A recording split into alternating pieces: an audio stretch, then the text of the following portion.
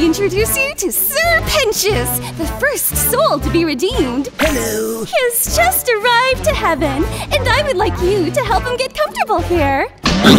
uh, guys?